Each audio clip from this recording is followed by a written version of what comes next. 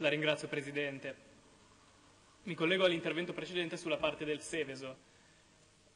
Abbiamo affrontato mercoledì scorso, il 25 giugno, una, una piccola esondazione e eh, abbiamo ovviamente seguito su, sui giornali la reazione ovviamente della politica e eh, non possiamo che non ribadire le soluzioni tecniche che abbiamo eh, nel corso del tempo suggerito dal Consiglio di zona 9 e eh, per questo eh, tengo a aggiornare l'Aula su, sulle nostre proposte sulla presenza eh, in Consiglio di zona e del lavoro svolto dal gruppo di attivisti e soprattutto dall'ingegner La Terza che è il nostro consigliere in zona che si è occupato di regolazioni dei, eh, come ingegnere elettronico di, dei corsi d'acqua.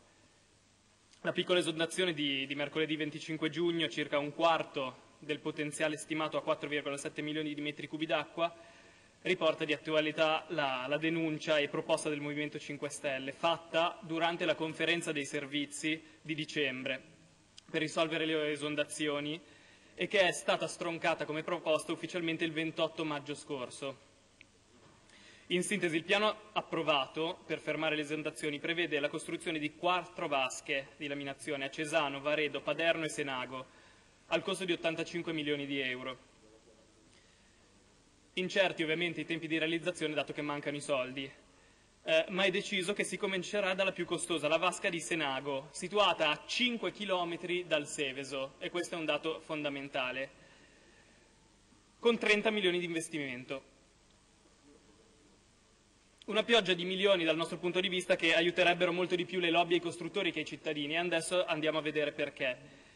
Anche se fosse stata in funzione questa vasca, la vasca di Senago non avrebbe evitato l'esondazione di, di, di mercoledì scorso di solo un milione di metri cubi. Una vasca vicina al letto del fiume, invece, per esempio a Paderno, avrebbe evitato l'esondazione. E eh, a riprova di questa nostra ipotesi ci sono le notizie che ci siano stati allagamenti a, a Ro. Se avete visto ci sono state riprese anche sui social network di Ro eh, e allagata eh, dove il CSNO confluisce nel deviatore Olona. Probabilmente la nostra ipotesi è stata spinta al limite la capacità dello scolmatore del deviatore fino a provocare anche l'esondazione di Roma. Questo non ha evitato comunque l'esondazione eh, su Milano. Ovviamente ricordiamo che gli scolmatori, i, le vasche di laminazione non sono una soluzione dal nostro punto di vista ehm, ambientalmente e sostenibilmente corretta, ma all'interno comunque di questo dibattito noi ovviamente vogliamo portare un apporto e eh, ragionando pure in questa soluzione innaturale della vasca di laminazione, che eh, tra l'altro utilizzerà pompe, ehm, quindi con un costo di corrente elettrica, riteniamo che gli enti regionali stiano eh, dando le priorità ad opere più costose e soprattutto meno efficienti. Il 28 maggio eh, 2014 Regione Lombardia ha, disposto, ha, risposto alle nostre osservazioni relative alle vasche di Senago, cioè all'inutilità di questa vasca rispetto a una più eh, vicina al corso del fiume. La Regione giustifica esplicitamente la costruzione della vasca di Senago proprio perché è più lenta nel riempirsi, dato che c'è un canale di 5 km che la collega. La spesa prevista della realizzazione della vasca, come ricordiamo, è di 32 milioni. La vasca realizzata a Paderno, della stessa capacità, potrebbe riempirsi più velocemente, chiaro, perché è attaccata al letto del fiume, quindi evitare le esondazioni come quella di mercoledì scorso improvvise. Ma nessuno gli vieterebbe di riempirsi più lentamente con la regolazione. Questo semplicemente per smontare le repliche che Regione Lombardia ha dato come punto di forza della costruzione della vasca, eh, della vasca di Senago. C'è però una sostanziale differenza tra le due realizzazioni. La vasca realizzata a Paderno-Dugnano costerebbe solo 16 milioni di euro, quasi la metà della realizzazione di quella a Senago, 30.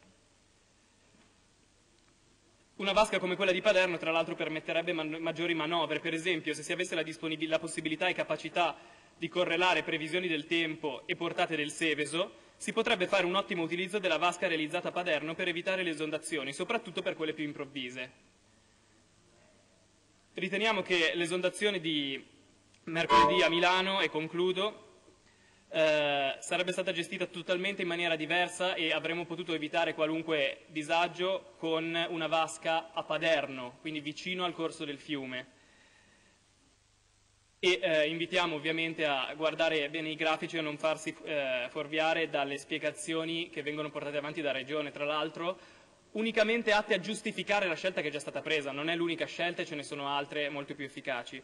Quindi, chiudendo, noi non possiamo che chiedere al Comune di intervenire e farlo con forza e decisione sul progetto AIPO, che noi non riteniamo non sostenibile dal punto di vista ambientale e soprattutto eh, sconveniente dal punto di vista pratico nei confronti di una vasca di laminazione più vicina al corso del fiume e soprattutto più economica, quasi la metà. E ricordo in conclusione di tutto questo che il Comune ha già detto di impegnare 30 milioni di euro proprio sulla vasca di Senago, quella che dal nostro punto di vista rispetto ad altre soluzioni è assolutamente inutile.